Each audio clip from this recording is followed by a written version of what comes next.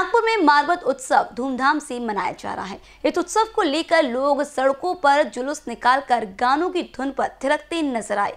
इस उत्सव को बुरी ताकतों और बीमारियों को दूर रखने के लिए मनाते हैं। इसीलिए ईडा पीड़ा घयून जारे माँ कहा जाता है। यह अनूठा पर्व नागपुर की खास पहचान है, जिसे हर साल मनाया जाता है। कोरोना महामारी के बीच पिछले दो सालों से पाबंदी के कारण जुलूस नहीं निकाला गया था, मगर इस साल सभी इमारत उत्सव बड़ी संख्या में मनाया गया।